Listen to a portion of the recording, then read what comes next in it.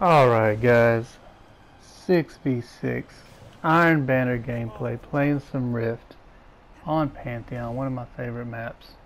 Taking in the Defender Titan with the no backup plans exotic gauntlets. We're also taking in our Finnala's Peril. I have been using this handgun quite a bit. It's just a beast of a handgun. I know I talked about it in one of my previous videos, but I wanted y'all to see a little bit more gameplay with it. Also, I'm taking in the Deidris's Retort. Um, had a few games with it, so I'm getting a little bit more familiar with it. Wanted y'all to see some more gameplay with uh, this shotgun and the no backup plans uh, exotic gauntlets. Um, just kind of show you the build that I've been running. I've been getting familiar with the uh, sprint slide shotgun melee. Um, right here I'm able to get a triple with that shotgun so the more I use it the, uh, the more comfortable that I've been getting with it.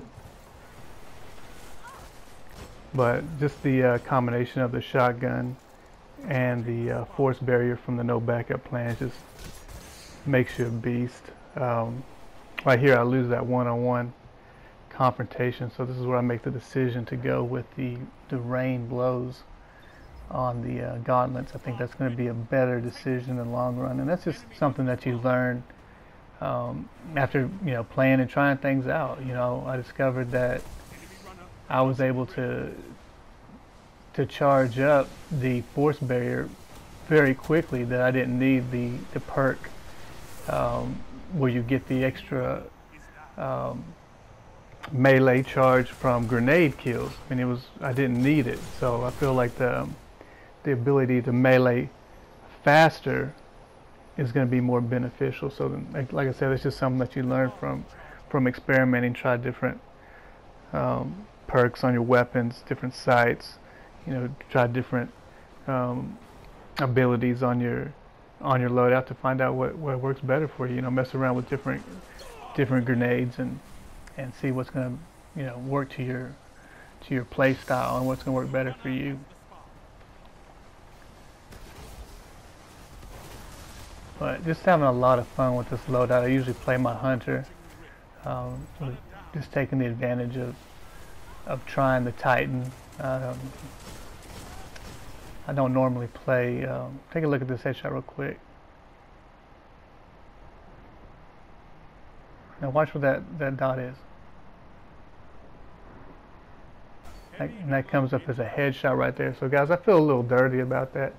Um, but that just goes to show you the aim assist and the help you get with this this hand cannon, the range and the, the uh, aim assist is just so good. Like right here, just the laser beam, guys. Um, you know, I tell you it's the best hand cannon um, for PvP gameplay, I'm not just making things up. You know, the great thing about that hand cannon um, and the shotgun is that they're both legendary. You know, they're just beasts of weapons. You know, it allows me to to use an exotic in my in, in my heavy slot. You know, right here you see me using uh, the truth and there's nothing uh, you know more OP than than the Truth rocket launcher. Um, I think I get in this gameplay I end up getting heavy twice. That's going to give me three rockets every time I get heavy, and um, so a total of six rockets. end up getting a total of six kills. I mean, the Truth is just that good, and if you're able to have that open slot, uh, exotic slot in your heavy, take advantage of it and and you know either use the truth or the boltcaster exotic sword um, it's really great when you can find a legendary weapon that's just as good if not better than uh, than an exotic you know look at that guy go flying off the map um, but yeah just some really great weapons that they're that they're giving you from from Iron Banner. Now, the biggest part of that is both of these weapons, the hand cannon and the shotgun, neither one of these, I don't think, uh, were purchased. These were both drops, and I just got very lucky with um, with the rolls on them. That's a big part of it, but that's one of the things that, that I really like about this game is um, you can, you know, everybody can get this Deidris's retort shotgun, at, you know, at some point. But are they going to be able to get it with uh, with some great rolls on it? And uh, in one of my previous videos, I mentioned Titans in their bubbles, and basically the the tip was to stay out of out of the bubble. And I don't know what it is about people, but they just love to run in, into this thing. I mean,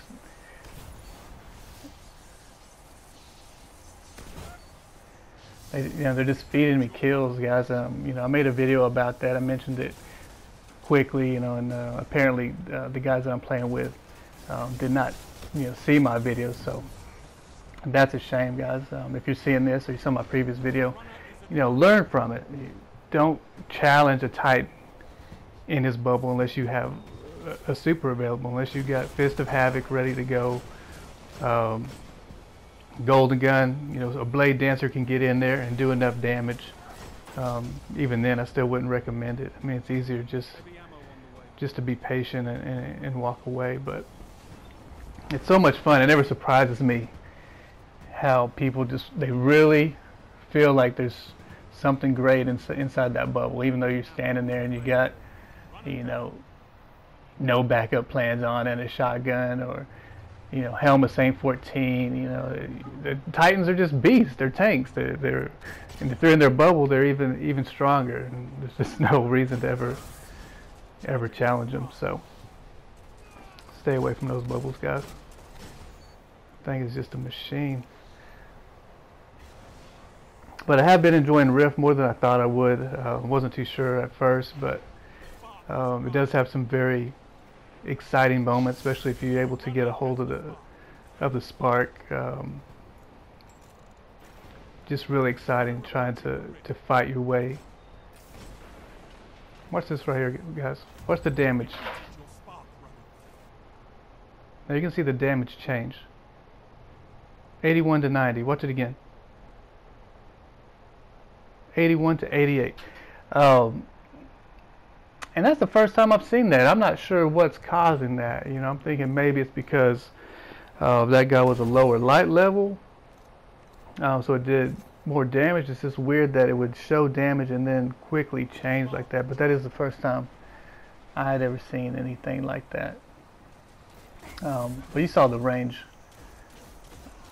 on that hand cannon. It's you know, and doing 81, 90 or 88, 91 damage uh, headshot is just is just ridiculous. So just a a beast of a hand cannon. But if you have, definitely try out this loadout. If you, you know, a lot of people don't use, well, one, they don't use Defender. Two, they don't use no backup plans. But if you, you know, if you enjoy Titan and enjoy um, just being a tank in PvP, you know, try to, you know, take your time and try to build this this loadout, guys. It's just a lot of fun. And uh, I've been practicing with my my slide shotgun melee. I almost got him with the shotgun, but I was able to finish up with the melee right there, and that kicks in the that force barrier. You know, either the shotgun kill um, or the melee, either one of them give you that um, give you that force barrier. And look, it just it just makes you a tank because you got you know full health, you got an overshield. Um, only problem is when you when you run out of uh, shotgun ammo, that does happen. But I've been getting a little bit a little bit better. And I do have the chest armor and the leg armor that provides um, you know additional shotgun ammo. ammo. Uh, so definitely take take advantage of that if you're going to be running this build. So um, I'm going to go ahead and let you guys go enjoy the rest of the gameplay, and I'll talk to y'all next time.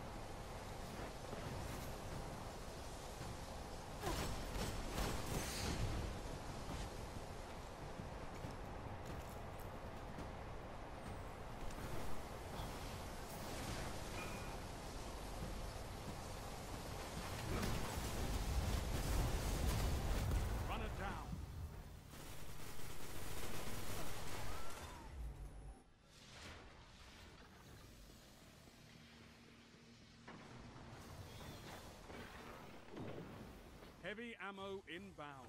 Spark charging.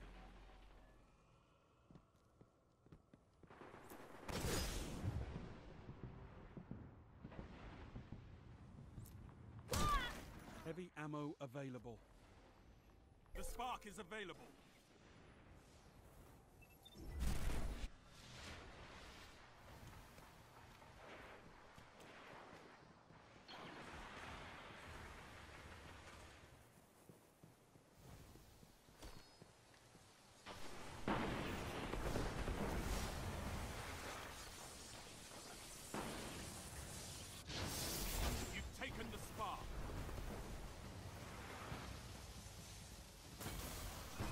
Nothing.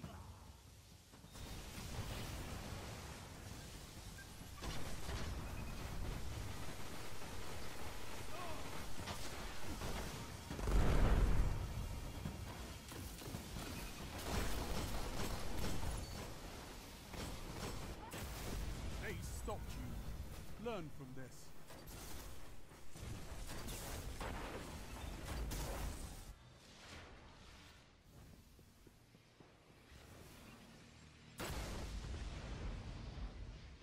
Charging the spark. One final push and victory is yours.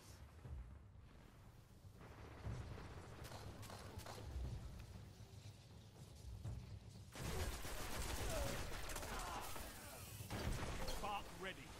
Take it.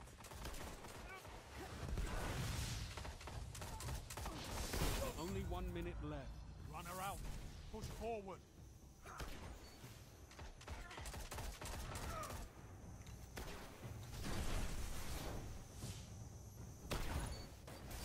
Amazing. I never thought a Warlock game could stir my blood.